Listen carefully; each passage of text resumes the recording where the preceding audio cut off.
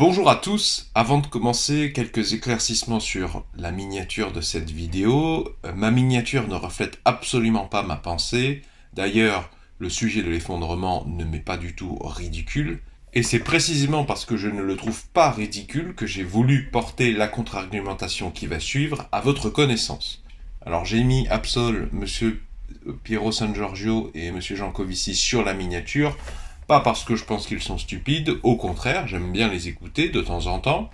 J'ai sali leur image sur la miniature pour attirer l'œil de leurs fans, parce que leurs fans, c'est précisément ceux qui peuvent être concernés ou intéressés par ce que j'ai à dire. Alors, je ne vais pas essayer de démontrer que l'effondrement est impossible, quel que soit le type d'effondrement que vous mettez derrière ce mot.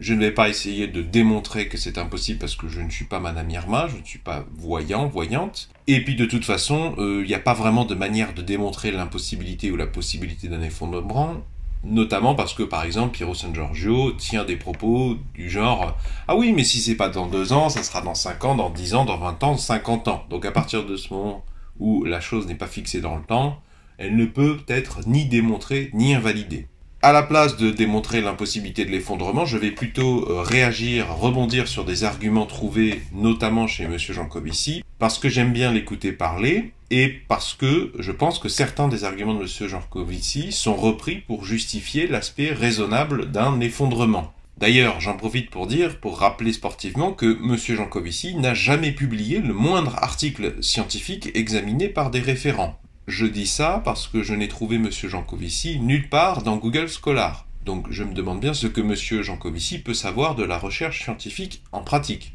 Donc je ne nie pas l'intelligence de M. Jancovici, mais je voulais faire cette petite piqûre de rappel des faits.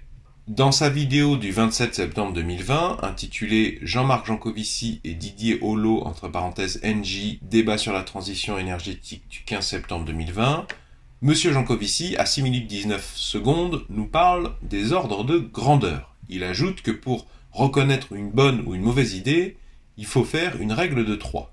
Je vous ai mis le lien vers ce moment précis dans la description sur la vidéo. Allez écouter ce passage, s'il vous plaît. Voici un premier argument qui me pousse à ne pas craindre un effondrement.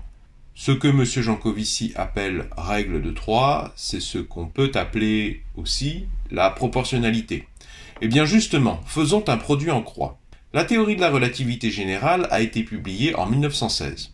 La théorie de la relativité générale, c'est une mise à jour de la compréhension par les humains de la force d'attraction gravitationnelle.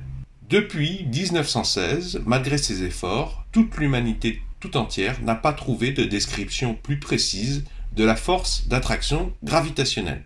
Par contre, nous savons que notre vision de la force d'attraction gravitationnelle est encore imparfaite, notamment parce qu'elle ne colle pas du tout avec ce que nous observons à l'échelle des particules, ce qu'on appelle la mécanique quantique.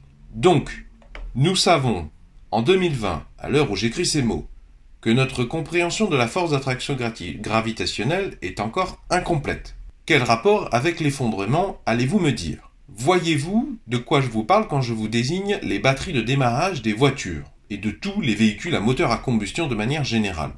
La première fois que nous avons appliqué la théorie de la relativité générale pour comprendre comment fonctionnent nos propres batteries au plomb, c'était en 2011.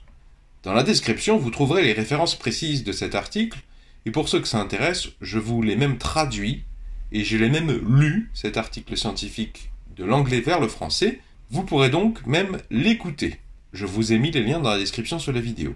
Alors je ne sais pas si vous vous rendez compte de ce que je viens de vous dire. Je viens de vous dire que l'humanité a attendu 94 ans avant d'appliquer son meilleur modèle de compréhension de la force d'attraction gravitationnelle à ce qui est probablement la technologie d'accumulateur d'énergie la plus répandue au monde.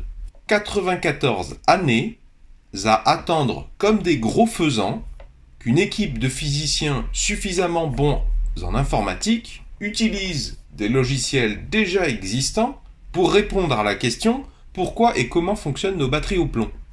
Donc, faites tous les produits en croix que vous voulez dans tous les sens. Amusez-vous à faire les calculs de coefficients de proportionnalité qui vous arrangent. Un siècle pour appliquer un modèle aux batteries les plus utiles. Et attention, avec ça se pose la question des matériaux que nous utilisons dans nos batteries et qui sont complètement inutiles. Et oui, parce que mieux comprendre nos batteries, cela peut tout à fait, presque du jour au lendemain, changer complètement le poids des batteries, l'énergie et les ressources nécessaires à leur fabrication, l'énergie et les ressources nécessaires à leur réparation, l'énergie et les ressources nécessaires à leur recyclage, etc., etc. Si je suis la logique de Monsieur Jancovici, cet exemple nous montre que nous avons des marges de progression immenses qui ne nécessitent pas forcément de gros moyens matériels en plus.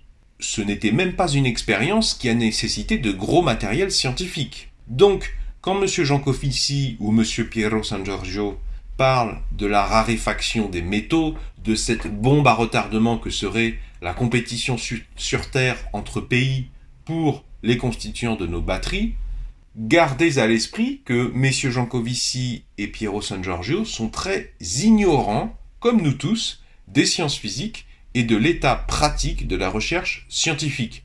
Et s'il vous plaît, que personne n'aille insulter ces messieurs Déjà parce que la plupart d'entre nous, et moi le premier, emploiera mieux son temps en le dépensant à comprendre la théorie de la relativité générale, plutôt qu'en allant diffamer des inconnus sur les réseaux sociaux. Et surtout, surtout, surtout, je fais cette vidéo pour rassurer les jeunes qui ont parfois du mal à trouver la motivation pour faire des études. Dites, s'il vous plaît, aux enfants ce que je viens de dire, la Terre a besoin d'ingénieurs, de techniciens, deux scientifiques qui travaillent ensemble, et la science, c'est pas très compliqué, il suffit parfois d'appliquer bêtement des découvertes scientifiques d'il y a plus d'un siècle à des objets de la vie de tous les jours.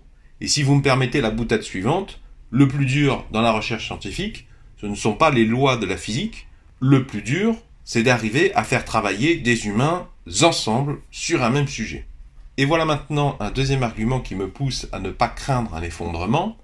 Eh bien, les économies d'énergie, d'argent, de temps que permettent les inventions et les innovations scientifiques échappent aux produits en croix. Ce sont plutôt des économies qui suivent des échelles logarithmiques ou exponentielles, pléonasme.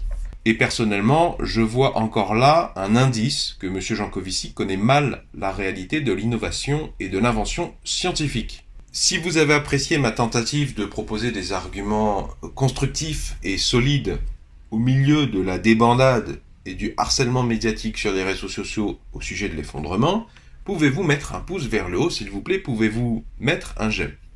Si vous aimez discuter de science, je vous invite à vous abonner à cette chaîne YouTube. Vont s'afficher à l'écran un rond et un rectangle. Le rond, vous cliquez dessus, ça vous abonne gratuitement à cette chaîne YouTube. Et le rectangle, c'est la playlist de toutes mes lectures d'articles scientifiques en français.